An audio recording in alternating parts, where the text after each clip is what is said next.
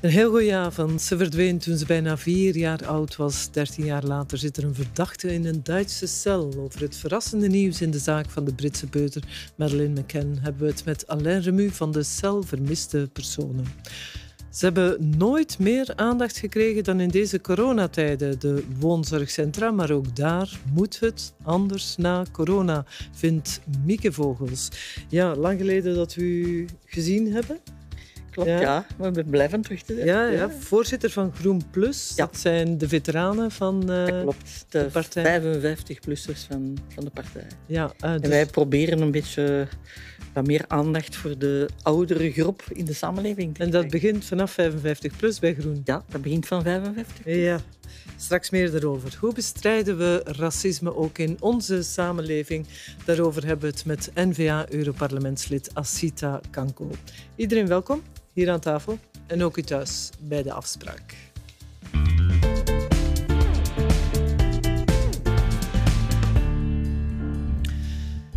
Ja, het was lang geleden dat we nog iets gehoord hadden van de Britse peuter Madeleine McCann, maar vanmiddag was er een persconferentie van het parket in Duitsland. dem Verschwinden des dreijährigen britischen Mädchens Madeleine Beth McCann am 3. Mai 2007 aus einer Apartmentanlage in Praia da Luz in Portugal ermittelt die Staatsanwaltschaft Braunschweig gegen einen 43-jährigen deutschen Staatsangehörigen wegen des Verdachts des Mordes. Daraus können Sie entnehmen, dass wir davon ausgehen, dass das Mädchen tot ist. Alain Remu, hoofd van de cel vermiste personen bij de federale politie. Ze gaan ervan uit dat het meisje dood is. Daar moet je wel heel zeker van zijn Ja. als je zoiets Ik zegt. vond het ook eh, op zijn minst een eigenaardige uitspraak tijdens de persconferentie. Eh, ik weet natuurlijk niet over welke informatie de collega's beschikken, maar ehm, het, het komt wel binnen. Hè. Mhm. Ehm, ik weet het niet. Ik vind het heel bizar dat men dat in de mond neemt. Ehm, tenzij wij niet alles weten. Dat lijkt mij de enige. uit. Ja. De verdachte is een Duitser van 43 die in de cel zit voor een eh, andere zaak. Denkt u dat ze op het juiste spoor zitten? Wat is uw aanvoering? Farah, ik weet het niet. Eh, ik ben altijd optimist van nature. En ik hoop uit de grond van mijn hart dat dit het moment wordt. Maar als ik terugkijk op de voorbije dertien jaar, we hebben die zaak van kortbij kunnen volgen. Er zijn al x aantal verdachten de revue gepasseerd, waar we nadien niks meer over gehoord hebben. Ik hoop dat het deze keer niet zo is. Mhm. Ik heb wel het gevoel, als ik een aantal randelementen zie, dat er toch wel een en ander meer dan de moeite waard is om echt van nabij te En bekijken. welke randelementen? Ja, er zijn toch wel... hé, hij wordt blijkbaar toch ook geplaatst daar waar het gebeurd is. Er is dan sprake van een herinschrijving van dat voertuig om een onverklaarbare reden. Ehm, dat moet toch uitgevlooid worden. Maar ja, ik weet het niet. We gaan het maar zien als we er zijn, denk ik. De man was ook al eens op de radar verschenen, vroeger. Ja, ja. Blijkbaar. maar nu dus eh, Ja. in de cel. Nu, kan je na 13 jaar nog bewijzen vinden? Eh, ja. Ja? Ja, dat kan. Eh, al hebben we het bijvoorbeeld over contactsporen. Ik, ik ken het dossier niet van binnen en van buiten, maar stel dat er op het moment van de verdwijning, wat dan toch vrij snel een criminele affaire bleek te zijn, dat er daar bijvoorbeeld contactsporen zouden zijn opgenomen in der tijd. En contactsporen zijn... Ja. Elementen die kunnen wijzen op het feit dat dat meisje eh, bijvoorbeeld in zijn handen is geweest. Ik zeg zomaar iets. ehm, op de plaats, hij is daar geweest, heeft bijvoorbeeld een deurklink vastgepakt. Zeg zomaar iets. Uh-huh. Dan, dan blijft, als ik deze microfoon vastneem, zit mijn DNA erop. 13 jaar later ook nog? Wel, dat is weer iets. Maar Ah. nee, maar als men dan toen de sporen heeft opgenomen, dan heeft men ze wel. Ja, dan kan Ja. men vergelijken. En dan kan men vergelijken. Je moet weten, tijd is in dit soort dossiers meestal een tegenstrever, maar het kan ook een medestander zijn. Ehm, er is ondertussen heel wat evolutie geweest op vlak van technologie, op vlak van forensische wetenschap, eh, DNA, noem maar op. Eh, er is heel veel mogelijk. Alleen, je moet wel het materiaal hebben natuurlijk. Mhm. Ze kunnen dus op plaatsen DNA vinden waar ze dat vroeger niet konden vinden. Eh, of testen doen die vroeger niet mogelijk waren. Ja. de techniek, de, de technologie gaat met rassenschreden vooruit. Ehm, we kunnen vandaag dingen aantonen die twintig jaar geleden niet aantoonbaar waren. Ja, de twee wagens van de man, een, eh, een van, een soort camper, Een soort mini en een Jaguar, die zijn in handen van de Duitse Ja, politie. blijkbaar daar, wel. Dat heb ik ook vernomen. Ja, daar hebben ze geen DNA in gevonden. wel, dat, dat, kan weet ik niet. Dat hebben ze althans niet gezegd. Ah. Ja, weet dat niet. voorzichtig zijn. Ja, ik ben, al, ik ben heel voorzichtig in dit soort zaken. Eh, misschien weten wij maar de helft van wat de Duitsers weten. Ik weet dat niet. Ik hoop het, want dan hebben ze waarschijnlijk veel meer. Eh, anderzijds zie ik wel dat zij toch nog een extra oproep doen naar getuigen. Dus, en dat is positief. Ze willen het onderzoek zo breed mogelijk voeren. En dat is, dat is belangrijk. Ja, Dat is belangrijk dat ze dat doen. maar doen ze dit omdat ze vastzitten? Dat weet ik niet. Misschien niet. Het kan ook zijn dat zij zeggen van kijk, dit is wat wij nu hebben. Blijven veronderstellingen. Hè? Dit is wat wij nu hebben. Ehm, wij willen toch misschien nog proberen om te zien of getuigen die een van de voertuigen bijvoorbeeld kunnen plaatsen op een bepaalde locatie. Om hun wordt- zaak te versterken. Ik weet het niet. Wat ik ja. nu vertel is puur Ja. hypothese. Maar u eh, doet al 25 jaar eh, verdwijningszaken. Mhm. U bent ook betrokken geweest bij deze zaak? Eh, eigenlijk wel, ja. Je moet weten, toen Maddie verdween, ehm, werd zij overal gezien. Ook in België. Er zijn toen tientallen letterlijk tips binnengekomen van Maddie die ergens werd gezien in België. Vanuit de stel vermiste personen hebben wij toen al die tips gecheckt. En dat heeft geleid tot een, een halve kast vol informatie. Ehm, we hebben Maddie nooit gevonden, maar die informatie die we binnenkregen was soms wel heel treffend. Ik herinner mij Shanneke uit Riemst, een klein blond meisje, Ja. die gezien was door getuigen met een mevrouw en een man die Engels spraken. Daarmee kwamen ze naar ons. We hebben Shanneke gevonden. En die leek op mij, die van op afstand. Dus ik wil maar zeggen... Het was er niet. Ja, Ja. Maar wij hebben toen ook in die periode heel veel contact gehad met de collega's eh, van eh, Portugal, a priori. Maar nadien ook met de mensen van Scotland Yard, die het onderzoek hebben, hè, operatie Grace. Maar er zat niets bruikbaars tussen. Eh, in België niet. in België niet. Het, het leek mij ook heel onwaarschijnlijk. Maar bon, weet maar nooit. Hè? ja, nu is het Duitse nee. piste. Dus het had even Wel, goed Belgische Dat weet piste je dus zijn. niet. En, Ja. en wij hebben in de loop van dit onderzoek een paar keer contact gehad met de Mhm. onderzoekers, zowel met de Britten als met, met Portugal, eh, voor sommige zaken uit te klaren. En, en wie weet, Mhm. hè, we zijn klaar om te helpen. Hè. Er zijn verschillende scenario's geweest, maar een van de scenario's was dat ouders zelf in verdenking werden gesteld. Ja, Dat is... eh, Kijk, laat me heel duidelijk zijn. Als een kind verdwijnt, dan moet je als onderzoeker altijd rekening houden met de mogelijkheid dat een ouder betrokken is. Rekening houden met. Versta mij goed, hè? ja. We hebben het meegemaakt. hè? Sint-Job in het Goor, Jansien Bosmans. Mama doet aangifte. Achteraf blijkt de mama is betrokken in de feiten. Dus je moet daar rekening mee houden. Maar je moet alles binnen zijn context plaatsen. Ehm, het is vandaag al meerdere keren gezegd geweest. Maddie is niet zomaar een vermist meisje. Maddie is een fenomeen geworden. Hè? Vooral ook door media. En daar zijn inderdaad heel bizarre uitspraken geweest waar ik mij voor hoed om ze te doen. De ouders zouden betrokken zijn. Mogelijk, geweest. Ja? Luister, als die ouders niets te maken hebben met die zaak, dan zijn die mensen door de hel gegaan. Hè? Ze zijn hun dochter kwijt en ze werden bovendien er nog van beticht van betrokkenheid. Als ze er wel iets zouden mee te maken hebben, ja, dan moeten ze een prijs geven voor toneelkunsten. Hè? Dan is het alleen maar de vraag, is dit bijna... Het is bijna niet mogelijk. Ja? Dus ik hoed mij daarvoor. Ehm, de Britse tabloids vooral hebben een bizarre rol gespeeld Ja. in Hans dit verhaal. Ja. Maar wat was voor u de meest plausibele hypothese? Ehm, een ontvoering door een onbekende. Alleen wordt het moeilijk als je het hebt over waarom een kindje van drie. Als je het hebt over een pasgeboren babytje, dan kun je nog zeggen het is om een kind te laten ontstaan in een familie. Dat hebben we meegemaakt bij ontvoeringen uit het hospitaal. Ehm, Een putter van drie niet. Peuter van Drie, a priori is, is dat op het eerste zicht... Weet je, en nu hebben we het over daders. Er zijn soorten daders. hè. Je hebt preferentiële daders die op zoek zijn naar een specifiek type slachtoffer. Je hebt situa- situationele daders die, als de gelegenheid zich voordoet, toeslaan. Maar dan nog, waarom? Mhm. Wat is de er is nooit een losgeldeis gekomen, wat plausibel had kunnen zijn. Ja. Ja, eh, Maddie, laat ons eerlijk zijn, heeft niet het profiel van het slachtoffertje om in ik weet niet welke verhalen van handel in blanke slavinnen terecht te komen, die ook verteld werden. Ehm, Slachtoffer van het meest voor de hand liggende Ja. is een zieke, gestoorde geest. Ja, ziek weiger ik ze te noemen, want ziek ben je als je kanker hebt, maar een gestoorde geest die voor God weet welke motivatie dit soort feiten zou plegen.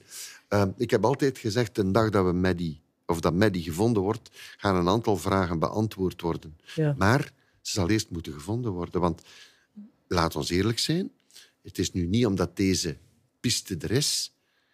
Stel dat dat de kerel is die ze moeten hebben, dan is er nog geen enkele garantie dat hij ook zal zeggen waar ze kan gevonden worden. Is, ja. Dat is nog een ander aspect. Ja. Dit gaat natuurlijk andere ouders weer hoop geven. Ja, zeker. Ook al is de zaak nog niet opgelost, Eh, dat maar het klopt. geeft weer een mogelijkheid. Weet je, en vragen die bovenkomen ook. Ja. Hè. Ik je mag dat gerust weten en Dirk gaat mij dat niet kwalijk nemen. Ik heb van de morgen Dirk van den Brander, de papa van Liam, al aan de lijn gehad. Die mij belde en die zegt, Alain, wat denkt je? Ja. Ik zeg, Dirk, Maar ik heb hem nog even laten horen, want Ja. hij zat in ons eh, journaal het op waar? eh, 25 mei. Oké, de dag van de vermiste kinderen. Een Ja. fragment. Ziet hier voor mij een gebroken man. Gebroken niet. Getormenteerd wel. Ja. Ik draag een bagage mee. Eh, en daar kan ik niet naast. Ik hoop dat er vroeg of laat nieuws komt. Ook al is dat dan negatief nieuws, het is beter als niks. Want dat is het ergste van allemaal, dat je niks weet. Hoe lang is het voor hem geleden? 3 mei 1996. Ja. Het was ook trouwens Dirk die mij de opmerking maakte. En ook dat zal hij mij niet kwalijk nemen. Wanneer is Maddie vermist geraakt, weet je het nog? Eh 3 mei, denk ik. 3 mei? Ja. 3 mei? Liam ook 3 mei. Oh, nee. Ah, Ja? Bizar, hè? ja. Ja. Nu, om u maar te zeggen, eh, elke ouder van een vermist kind, dat zeg ik u, die zitten vandaag op het puntje van hun stoel. Die vragen zich af, zou het kunnen dat... Zou het kunnen dat deze zaak opgelost wordt? Misschien wel.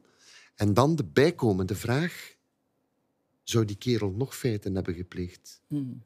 Het zal maar uw kind zijn dat vandaag vermist is, wanneer dit nu gebeurt het... automatisch flitst dat door je hoofd. En dan ga je denken van, oei, daar hebben wij deze ochtend vroeg over gesproken, Dirk en ik. Die zei van, Alain, ik zeg, Dirk, maakt u geen zorgen. We gaan dat uitvlooien. Ja? Liam was klein, hè? Lian was klein manneke van twee jaar. Twee jaar. Ja, en, en er zijn andere elementen. En elke zaak is anders, hè, Farah. Maar, ik zeg u een zaak. Nu is het druk voor de onderzoekers in Duitsland en, en Scotland Yard. Maar ik wil alles weten van die Duitse kerel. Hè. Om mogelijke verbanden te leggen met zaken waar u nog... eh, Nathalie. Gijsbrechts is nog altijd vermist. Kavas Gevrij is vermist. Er zijn nog vermiste kinderen in België, Ja. dat is Liam. En ehm, ik wil toch eens kijken naar de tijdslijn van die meneer. Wat is de oudste zaak die u ooit hebt kunnen oplossen? Eh, die we hebben kunnen oplossen in deze stijl. ehm, Elisabeth Brichet. Eh, Elisabeth was een klein meisje dat vermist raakte in Namur in 1989. En wij hadden daar allemaal het gevoel van... Die zien we nooit meer. Die is slachtoffer geworden van, en dat bleek ook, van een of andere psychopaat. En plots ontplofte de zaak Fournierij. En in 2004 hebben wij samen met Franse collega's de stoffelijke resten van eh, Elisabeth. Brichet kunnen bergen Ja, in Donchery in, in Frankrijk. Dus maar het kan, hè. beter laat dan Ja. nooit. Het kan. Ja. Want de titel van uw boek is Zeg nooit nooit. Ja, klopt. Ja. Weet nooit. Dit kan, laat het ons open, de start zijn van eh, een ontknoping. Het zou tijd worden. Hè? Ja, laat het ons eh, hopen, inderdaad. Ja. De coronapandemie brengt ons op vele terreinen op kruispunten waar nieuwe keuzes kunnen gemaakt worden. Wat moet anders na corona? Nu is het moment. De maatregelen die men neemt, zowel positief als negatief, moeten nu tijdelijke maatregelen zijn. We gaan naar een andere evenwicht moeten gaan. We hebben geen contact meer met ons platteland en met ons eigen eten. Waar ga je dat evenwicht zoeken? We luisteren naar de experten. Welke klemtonen leg je daar? Investeer nu dat geld niet fout. Wat is nu het algemeen belang? Als we nu niks doen, hebben we in de toekomst Geen zuivere lucht, geen goede gezondheid en geen job, hè? Ja, anders na corona, hoofdstuk uh, zoveel, de woonzorgcentra. Uh, mevrouw Vogels, u bent ook nog minister van Welzijn en Gezondheid ja, geweest, begin jaren 2000. Voor u zijn de woonzorgcentra het pijnpunt van deze crisis. Wat moet daar anders na corona? Ik denk dat we tijdens deze crisis gezien hebben hoe fout wij bezig zijn door mensen die gemiddeld nog anderhalf jaar verblijven in een verzorgingstehuis, om die samen te zetten in lange gangen met anonieme kamers, um, onvoldoende geschoold personeel daarbij, mm -hmm. uh, bijna in een, in een industrieel systeem waar eten van buiten wordt geleverd, waar diensten van buiten worden geleverd. Allee, dit is onmenselijk. Ik zeg altijd, wij hebben als samenleving hebben wij heel veel geld over om mensen ouder te laten worden. Hè? Dus telkens komt de minister van Gezondheid vertellen, kijk eens, we zijn weer een trimester ouder geworden, de gemiddelde leeftijd. En uh, ja, wij moet, moeten niet te veel drinken, wij moeten goede sport doen, we moeten op tijd ons pilletjes nemen. En als we dat dan allemaal gedaan hebben, eenmaal op het einde van de rit, dan steekt men nu weg in, in eigenlijk een vergeetput. Dus die organisatie moet helemaal anders volgens ja, u? Absoluut, ja, absoluut. Wat heeft u het meest getroffen? Als u de woonzorgcentra zag, of sommige woonzorgcentra. Wat mij het meest getroffen... Waar het goed gefunctioneerd heeft. Ja, wat mij het meest getroffen heeft, dat is de hulpeloosheid van die mensen. Uh, en het feit dat die gescheiden zijn van hun familie. En dus nu, allee, het bezoekrecht is er nu. Dat zijn mensen die zeven weken geen familie gezien hebben. Uh -huh. En dan komt er plots, en nu mag er bezoek komen. Als je vijf kinderen hebt, dan mag er één komen. En het moet altijd dezelfde zijn. En je moet die ontvangen ergens in de grote zaal, aan een tafel met veel afstand en in het midden een, een soort plexiglas met een mondmasker op. Heel wat van die mensen die horen niet goed niet meer. Dus sommigen zijn ook dementerend. Die weten echt niet wat er gebeurt. Die worden boos, die worden boos. Die zeggen, wat doe je mij aan? Waarom verlaten jullie mij? Waarom komen jullie niet? Mm -hmm. Allee, ik heb telefoon gehad van een vriendin die echt onthuilen was. Die zegt, dit is toch niet meer menselijk? En waarom doen we dat nu zo? Ik snap dat niet. Mm -hmm. Allee, het is... in woonzorgcentra geweest, uh, iemand gaan bezoeken? Of, uh... Uh, ja, wel, het is te zeggen, mijn tante zit in een woonzorgcentrum. Die is 90-plusser. ja, ik heb die eigenlijk nog maar amper gezien. dat is heel bizar. Hè?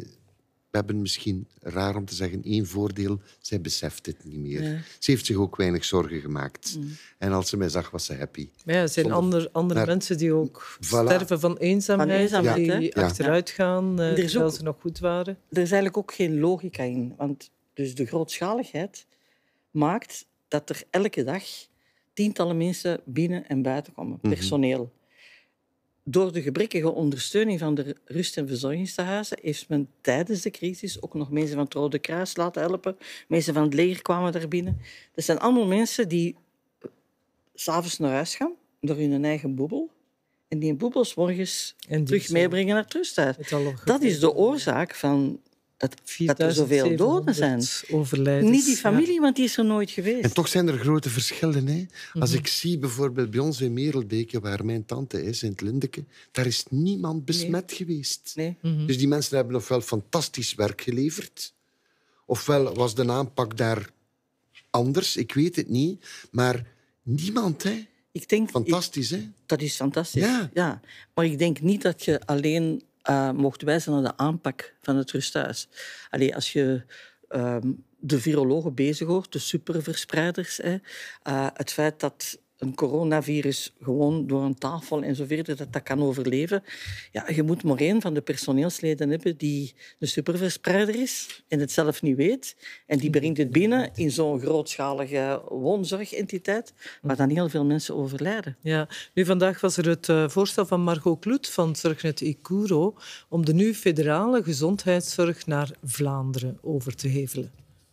Wij pleiten inderdaad voor een overheveling van alle bevoegdheden in zaken gezondheidszorg naar de gewesten, dus Vlaanderen, Brussel en Wallonië, omdat wij vaststellen op vandaag dat eigenlijk iedereen voor alles een beetje bevoegd is. Bijvoorbeeld in coronatijden betekenen dat soms andere bezoekersrichtlijnen voor de ene uh, voorziening dan voor de andere, terwijl het personeel wel heen en weer gaat en ook ja, die bewoners zich op éénzelfde site bevinden en dan andere regels moeten, moeten respecteren. En dat is eigenlijk heel Kafkaiaans. Ik word daar moe van. Ja? Heel ongelukkig. Omdat dat is zo typisch voor ons land. Er is een probleem. En in plaats van te gaan kijken wat het probleem is, zegt men, weet je wat, als we nu de staatsgenen vormen, dan zal het allemaal beter zijn. Um, Vlaanderen is sinds 2014 volledig bevoegd voor, voor de, de woonzorgcentra. Ja. Zowel voor de financiering als voor de omkadering. Die is volledig bevoegd. Ja, maar er is Sinds dat Vlaanderen bevoegd is, is, er, is het eigenlijk alleen erger geworden. Er is niet extra geïnvesteerd. Het probleem was wel de versnippering. Want bijvoorbeeld personeel uit de ziekenhuizen is federaal betaald, kan niet gaan werken in de woonzorgcentra, kan niet inspringen. Tijdens de crisis is dat wel gebeurd. Ja. Die soepelheid is er geweest. Maar ik denk niet dat je het daarmee oplost. Ik denk dat je het echt op een totaal andere manier uh, moet aanpakken. Mevrouw Kanko kijken. Uw partij wil dit ook, hè? De hele gezondheidszorg op Vlaams niveau brengen.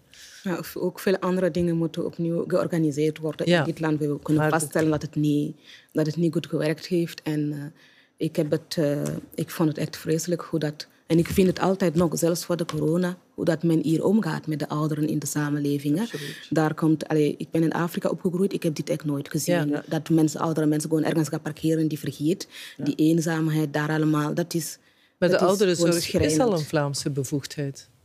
Dat is al een Vlaamse bevoegdheid. Ja, dus. ja als, uh, dat wel. Maar je ziet wel, als je nu kijkt naar hoe dat, uh, dat geregeld werd qua gezondheidszorg, je zei het ook zelf. Uh, het is versnipperd op bepaalde plaatsen. En dat maakt het allemaal heel moeilijk. We hebben heel veel ministers van gezondheidszorg in dit land. En ik weet, je weet nu niet meer wie verantwoordelijk is maar voor, wat. Woonzorgcentra, dus moet, voor de woonzorgcentra in Vlaanderen is er één minister bevoegd. Dat is minister Beke. En weet je wat mij altijd zo, wat mij altijd zo ongelukkig maakt? Dat is dat eigenlijk zouden we moeten vertrekken van uh, hoe kunnen we het nu anders en beter organiseren? En als we daar een antwoord op hebben, dan de mhm. vraag stellen, en wie kan dat nu best organiseren? En dan, wie gaat dat financieren? Ja. En als je het mij vraagt, de ouderenzorg, die moet je vollediger denken.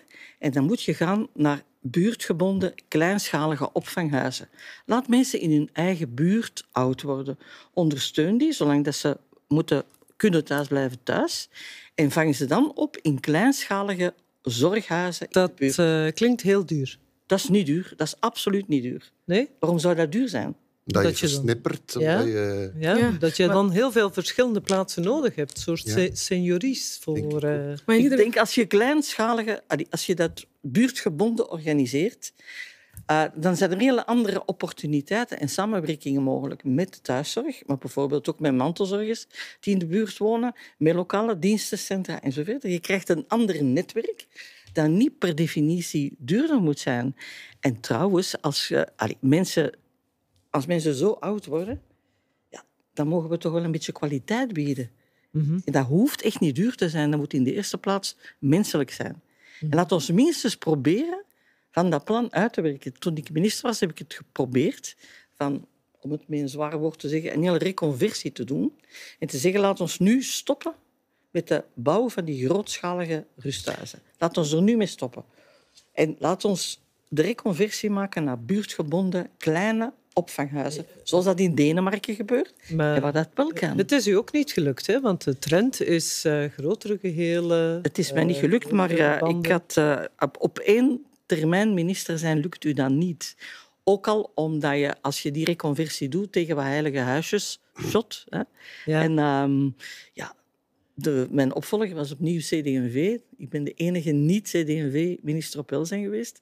En die heeft alles mooi teruggedraaid. Ja. Met de gevolgen die we nu kennen. Hè? Maar er zitten 80.000, of er zaten 80.000 mensen in de woonzorgcentra in uh, Vlaanderen. Als je dat allemaal moet uh, verdelen over kleine buurtgebonden initiatieven, hoeveel heb je er dan nodig? Ik denk dat dat uh, perfect mogelijk is. Als dat in, in andere landen kan, waarom zou dat bij ons niet kunnen? Ja. Opvang huizen van 15 Het bestaat in andere landen. bestaat in andere 15 mensen. 15 mensen. Ja. Waar dat je uh, die mensen ook een beetje in hun waardigheid laat. Mhm. De voorbije decennia zijn we in de woonzorgcentra heel vaak geconfronteerd met uitbraken van bijvoorbeeld salmonella. Wat hebben we dan beslist? We moeten uh, zeer strenge hygiënenormen. Waar mensen vroeger nog hielpen in de keuken, soep maken en zo verder, iets wat oudere mensen zeer lang en graag doen, dat mocht niet meer. Hè? Je mag niet meer mee eten maken, je moet wachten tot je eten gebracht wordt. Op een bepaald moment uh, is er een artikelreeks verschenen over het feit dat er veel mensen vielen in de rusthuizen. Hè? Uh, die achter hun uh, dingen, rollator, hè, ja. rollator lopen en vallen. Daar moeten we dringend iets aan doen. Sindsdien zijn heel wat mensen vastgebonden in de rolstoel om valincidenten te vermijden. Als we nu zien hoe dat we de, de bezoekregeling van ouderen regelen en we zeggen dat die corona nog een hele tijd onder ons gaat zijn, gaat dan de volgende stap zijn dat ook de bezoekregeling zo streng wordt.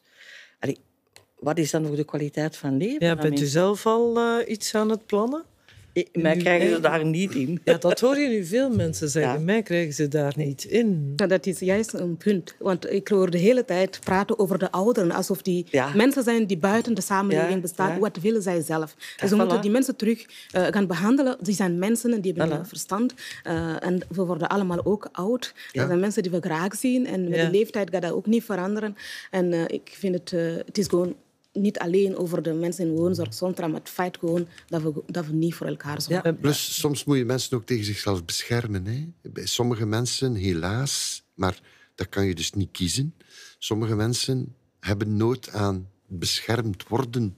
En ik zie dat ook wel als ik eh, bijvoorbeeld bij ons in Merelbeke kom, maar dat gebeurt op een heel menselijke manier. Uh, ik heb daar nog nooit het gevoel gehad dat mensen daar maar zou je er willen zitten? Worden.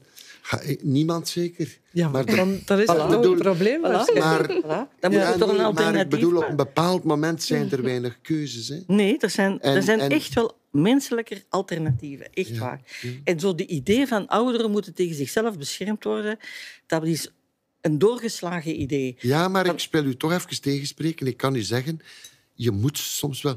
Ik zit in zelfvermiste personen. Je wil niet weten hoeveel keer wij op zoek moeten naar mensen met dementie bij zich.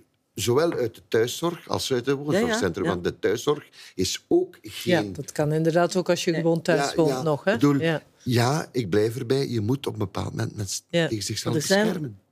Meneer Remus, er zijn goede voorbeelden van hoe dat je dat op een menselijke manier kan doen. niet door mensen op te sluiten, niet door mensen vast te binden in rolstoelen, maar door dat op een menselijke manier te doen, er zijn voorbeelden genoeg van. Ja. En ik denk ook, hè, um, zelfs economisch gezien, zou het enorm dom zijn om die grootschalige rusthuizen verder uit te bouwen. Uh, ik behoor tot de vermalendijde babyboom-generatie. Uh -huh. Dus wij zijn met heel veel geboren in de jaren 50. Ja. En wij zullen met heel veel binnen 20 jaar aan de deur staan -huh. van een ouderenzorg. Maar wij zeggen allemaal, Nee, dit niet. En bovendien, binnen 30 jaar zijn we dood. En dan is die babyboom-generatie weg. En dan, dan gaat het daar overblijven met van die grote dus... mastodonten van rust- en verzorgingshuizen. Okay. Dus het is een zeer slechte investering ook. Ja. Dus allee, ik heb daar in de tijd een hele nota Klein... over geschreven. Buurtgebonden, kleinschalige opvang. met respect voor de ouderen en met respect ook voor de familie van de ouderen. Dat is uw plan voor anders na corona. En laat nog één ding. Hè. Ja. Ik zou eigenlijk willen pleiten dat mensen vandaag zelf mogen beslissen of ze bezoek willen of niet van hun kinderen of kleinkinderen. Laat die mensen nog... dat zelf beslissen. Is dat nog niet zo? Is dat nog niet ah, zo? nee, ze mogen één persoon ontvangen. Ja. Eén dochter of maar ik dacht zoon. dat ze wel zelf mochten kiezen wie, wie er kwam. Nee. Ah, ja. Heb ik hier toch maar eens gevraagd aan Margot. Ja, maar hoe ja. moet je nu kiezen als je vier kinderen hebt? Ja. Mm -hmm. Dat is een moeilijke keuze. Hè? En als die mensen maar anderhalf jaar daar zitten en die corona zit nog een tijd verder uh, tussen de mensen, hè, dan is de kans groot dat die mensen nooit hun kinderen en kleinkinderen nog kunnen knuffelen. Hè? Dus ja. laat die alsjeblieft zelf beslissen of ze dat nog willen of niet. En dat kleine coronarisico lopen, dat eventueel Zo door de familie... dat risico niet. Hè? Dat door ja. de familie wordt binnengebracht, is, is Ik ben minim. daar heel voorzichtig en ik weet dat niet. Ja. Ik denk dat dat risico niet mag onderschat worden. Dat zal wel zijn, maar ik zou dat eens heel graag aan virologen zetten. Waarom? is familie zoveel gevaarlijker dan werknemers. Hetzelfde voorbeeld. Um, op een Familie bepaald moment, bij moederdag, ja. mochten wij kiezen voor vier mensen. Dus ik moest één van mijn De regel van vier. De regel van vier. Ja. Ik moest die liefst buiten ontvangen. Op dezelfde moment beslist de Veiligheidsraad dat mijn poetsel op terug mag komen poetsen. Ja, die ontvang ik niet in mijn tuin. Die ontvang ik binnen die poetst in acht gezinnen. Dus die brengt acht bubbels binnen. Hè? Ja, Waar dat... zit de logica? Ja, maar dat is uh, weer een andere discussie. Ik zal de vragen meenemen voor ja, uh, de virologen. Een plan dus voor de woonzorgcentra. Uh, het We kan gaan... anders. Ja, het kan anders. Wat... Eh, nee. We gaan kijken naar wat er in de rest van de wereld gebeurd is. Dit is niet op de afspraak.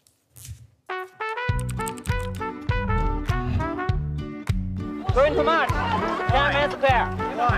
Why? I think this my duty. It's not easy, yes it's maar eerst de horeca. Huurzekerheid is over de heropstart. Maandag beginnen ook de professionele klanten terug te komen. Maar ze zijn nog voorzichtig. Behoren adult shop ook tot essentiële diensten? Adult shops zijn geen essentiële diensten. Help jezelf. Don't forget to move your body. Oh, we are not satisfied until justice rolls down like waters and righteousness like a mighty stream. Don't forget to praise the earth cause you're alive. Don't forget to hold your head up high. During the past few days, there's been widespread and continuing violence, and we deplore the decision to use force the demonstrators were advocating basic human rights that are enshrined in both the U.S. Constitution and the Chinese Constitution. Don't forget to move your body to the beat. Don't forget to sing out loud and to feel free. This country was founded on protest. We should all be thankful for folks who are willing, in a peaceful, disciplined way, to be out there uh, making a difference. Don't forget to hold your head up high. Ja, dat waren ook historische beelden. Tiananmen uh, 4 juni. Maar die andere historische beelden deze week, of uh, van vorige week, George Floyd in de Verenigde Staten. U hebt ze ongetwijfeld ook gezien, mevrouw Kanko. Wat uh, dacht u als u de beelden van George Floyd zag? Ja, ik, zoals de meeste, zoals iedereen. Hè. Ik vind dat uh, wat er nu daar gebeurd is met George Floyd uh, verschrikkelijk is. Dat het ons allemaal zou moeten choqueren en bedroefd maken. dat is een feit, hè? dat kan je niet ontkennen. En ik volg ook hoe dat het allemaal evolueert. Mm -hmm. ik mhm. vind dat, de protesten. Ja, ja, de protesten. Ik vind dat Trump hier ook een, een, kans mist om als, zich als staatsman te gedragen en echt te verbinden. want wat de mensen waarschijnlijk willen, is gewoon dat hij erkent dat er een probleem is. En dat hij eigenlijk een, een signaal geeft dat hij bezig is met de, de zoektocht naar oplossingen. Ja. Um, en daarnaast wil ik ook zeggen dat ik vind dat de mensen die, de, de, de, de railschoppers, um, het helemaal mis hebben. Want dit is uh, ook niet hoe dat je het hoe dat je het oplost. En uh, het is niet hoe dat je vooruit komt. Maar de niet-railschoppers, um, de betogers, vreedzame ja, die, betogers... die hebben een andere mening. Maar het is wel belangrijk om dat over de railschoppers ook te hebben. Ja. Want uh, als je nu terug in de geschiedenis kijkt, dan zijn ze één belangrijk element vergeten. Het is de houding van Martin Luther King die geholpen heeft om iets te veranderen. En je moet naar de film Selma kijken, dat vertelt het verhaal. Ja.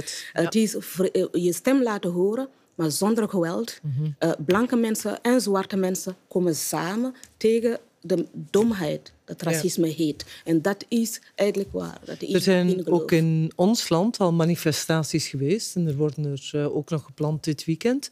Gaat u deelnemen? Nee, omdat ik eigenlijk sowieso van natuur smetvrees heb. En ik ben heel bang van de corona. En ik wil dat ook niet aan iemand geven als ik dat heb. Zonder corona zou je wel mee? Nee, ook niet. Want ik ben ook niet zo'n betoger. Ik, uh, heb, ik heb mijn pen. Of ik, iedereen heeft zijn manier om te protesteren. Hè. Ik protesteer ook op mijn eigen manier. Uh, op sociale media. Ik, uh, ik schrijf columns. Ik schrijf stukken. Ik, zeg mijn, ik denk dat iedereen wel zijn eigen manier heeft om te doen. Ja. Wat mij irriteert en wat ik eigenlijk jammer vind... is dat men eigenlijk de situatie in de VS ongetwijfeld verschrikkelijk. Maar je kan dat niet nemen en dat komen vergelijken met de situatie in Vlaanderen. En dat doen mensen. En dan vind ik dat echt politieke recuperatie en stemmachterij. Ik vind dat, dat de situatie, wat er nu met George Floyd gebeurd is, heeft um, iets blootgelegd in de VS. Dat klopt. Maar het heeft bij ons ook de schijnheiligheid van sommige zogenaamde racismebestrijders uh, ook blootgelegd. Als we het daar eens over hebben, is er racisme bij ons? Wordt u wel eens met racisme geconfronteerd? Tuurlijk. Zoals, allee, racisme bestaat hè, en het is altijd verwerpelijk, vind ik. Uh, maar ik vind dat we naar de situatie ook als geheel moeten kijken. Ik maar hoe ook... gaat u ermee om? Waar ah, wordt u geconfronteerd? Ja, ten eerste ga ik niet veralgemenen. Het slachtoffer van racisme is niet altijd zwart en de dader is niet altijd blank. Dus er zijn er racisten, zowel uh, bij uh, de zwarte mensen als bij de blanke mm -hmm. mensen, slachtoffers ook overal. Net zoals je, uh, ja, ik denk dat het. ik, ik, maak het mee, ja. ik maak het regelmatig mee. Je moet mijn mailbox zien. Ik krijg verschrikkelijke berichten van zowel seksisme als racisme. En wat ik nu vaststel, dat maakt mij echt kwaad. Ik ben vandaag heel erg boos. Dan zie ik wel dat het, um, dit soort racisme niet aangeklaagd wordt. Er is een groot deel van het racisme dat niemand aanklaagt. Welk soort racisme ja. bedoelt u? Bijvoorbeeld, er zijn blijkbaar volgens sommige mensen goede zwarten en slechte zwarten. Ah, vanaf het moment dat je een zwarte iemand bent met een status, dat je succesvol bent, dat je dingen realiseert, dat je eigenlijk in de maatschappij eigenlijk, dat je geen pijn hebt, je bent niet aan het sukkelen, je bent niet werkloos, je bent niet weerloos, je hebt geen problemen.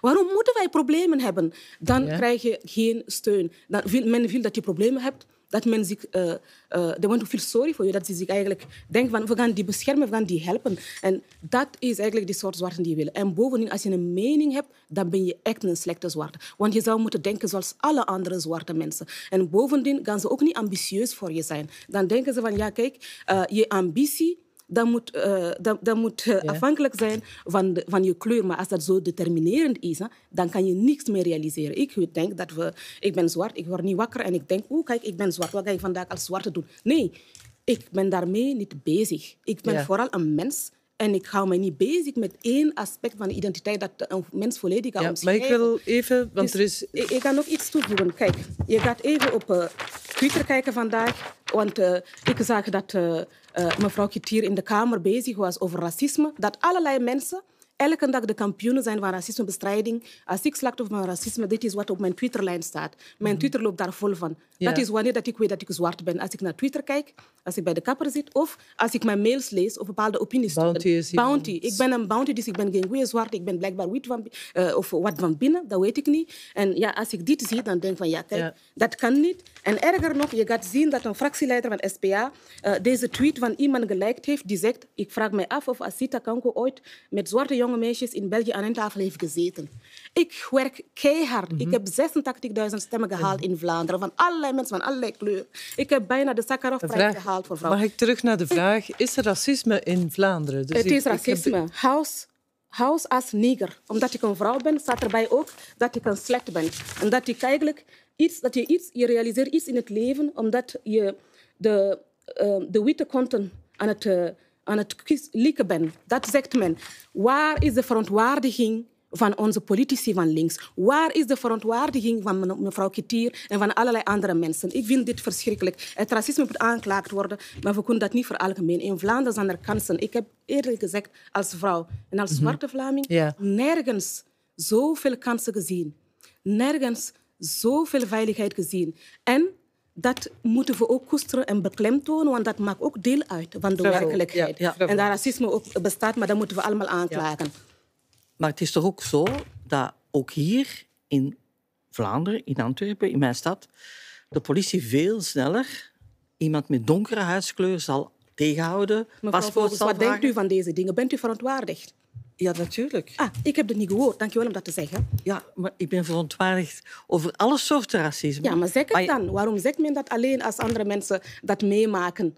Ja, maar we hebben hier ja. deze week nog inderdaad verhalen gehad. Meester Lachlali zat hier, ja. die zei van ja, ik word, werd vaker gecontroleerd door de politie dan uh, vrienden met een uh, lichtere huidskleur. Ginny Beels uh, heeft hier gezeten. er is een onderzoek van de Koning Boudewijn Stichting. 60% van de mensen met Afrikaanse roots heeft een hoger diploma, maar is vier keer meer werkloos dan het gemiddelde in Vlaanderen. Zijn dat geen bewijzen of, of toont dat niet, niet aan dat er inderdaad racisme is? Dat er geen ik begrijp heel goed dat dit maar ik zeg alleen dat mensen eigenlijk willen dat zwarte mensen aan het sukkelen zijn. Ik zeg niet dat er geen racisme is, dat bestaat. En dat moet aangepakt worden. Hoe pak je dat aan? Dat moet ook zo zijn dat we rolmodellen hebben. Die anderen inspireren van, kijk, je kan dat ook doen.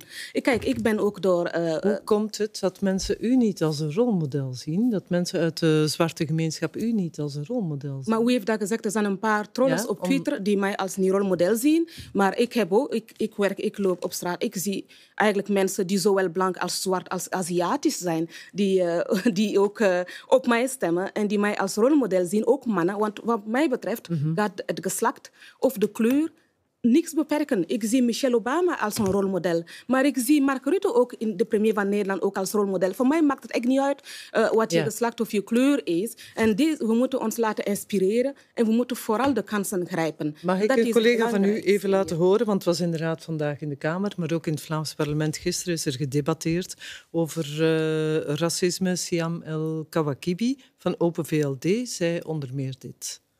Racisme, seksisme, discriminatie, haat tegen moslims, tegen joden, holebis, dat is structureel.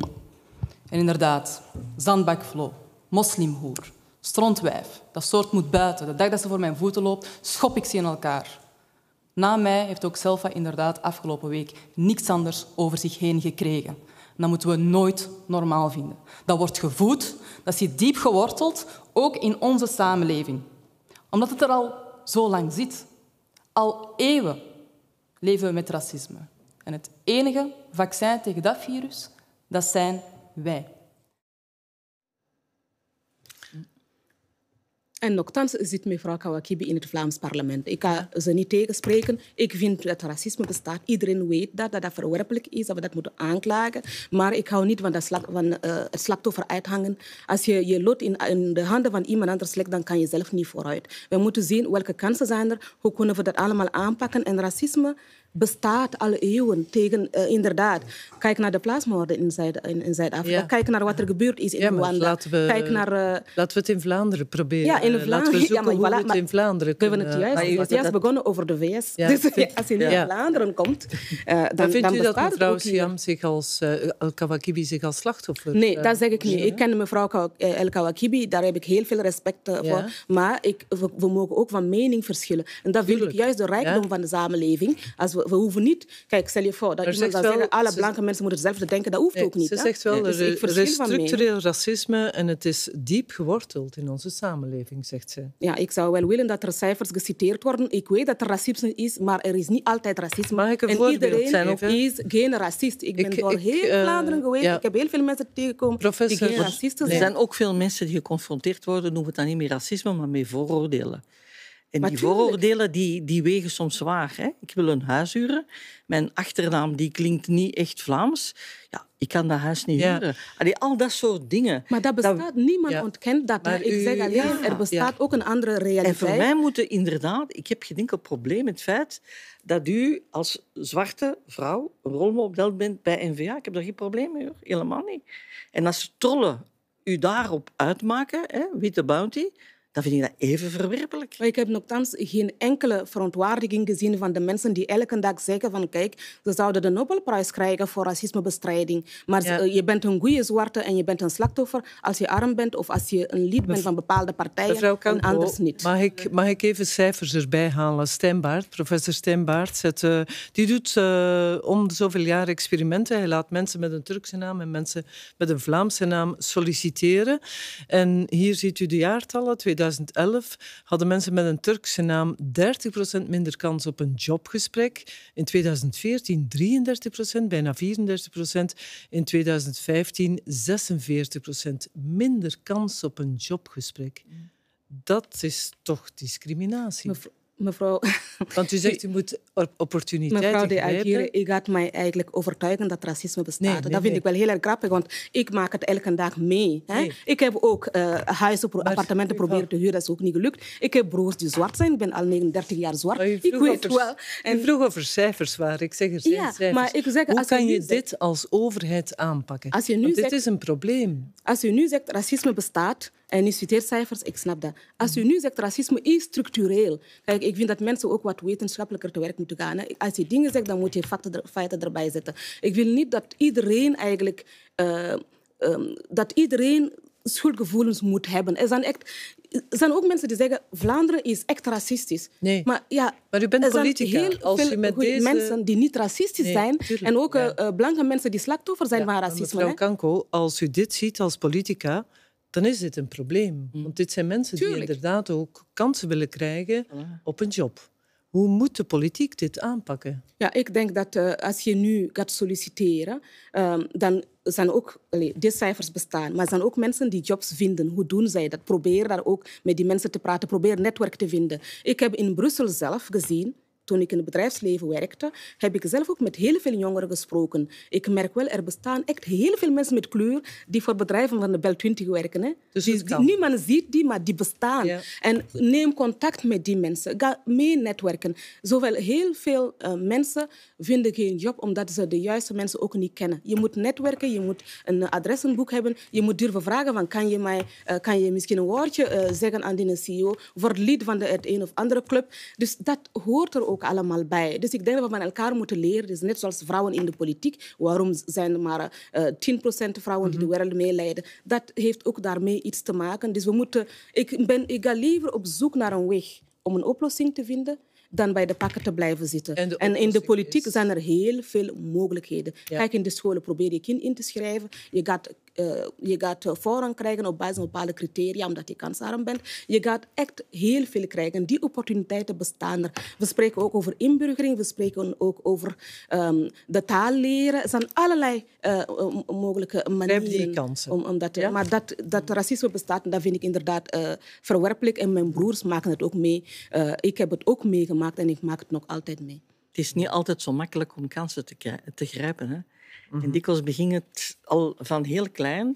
Allee, kinderen op dit moment moeten inschrijven. Meld je aan, dat is een systeem, online inschrijven in de school, zeker nu in coronatijd. Ja, er zijn een, een aantal mensen die kansarm zijn, die geen internet hebben, Ja. die niet weten hoe dat ze dat moeten doen. En die dan uiteindelijk Tuurlijk. in een school terechtkomen, niet van hun keuze, maar aan de andere Ja, kant van maar de stad. Ja. Dat Allee, is daar, inderdaad daar Dat, begint dat is het niet al. alles. Allee, is heeft daar gelijk in. Het is Ja. niet zo... Ik- Dat is eh, nog een ander debat en hangt niet niet dat echt van... kansen eh, makkelijk is. Ja. Maar ik zeg wel dat die kansen bestaan. Ik kom wel van een land waar er geen kansen zijn. Waar meer dan 54% Ja. van de mensen jonger dan 20 jaar oud zijn. En je gaat de leeftijd van 35 bereiken zonder ooit een job te hebben gevonden. Ja. We moeten dat ook koesteren. We hebben echt ongelooflijk veel mogelijkheden. En we moeten wat meer constructief op zoek gaan Ja, naar. in de samenleving u- moet En- en mensen die het moeilijker hebben een stukje bij de hand nemen. en Tuurlijk, dat hoort Ja. er ook allemaal bij. Dat, Ik moet dat het helaas. Ja. hier afronden. Onze tijd is op. Dank u wel, mevrouw Kanko. Dank u wel, Alain Remu. En dank u wel, Mieke Vogels. Graag gedaan. Morgen is Ivan er met onder meer de nieuwe voorzitter van Open VLD, Egbert Lachaert. Heel erg bedankt voor het kijken en graag tot maandag.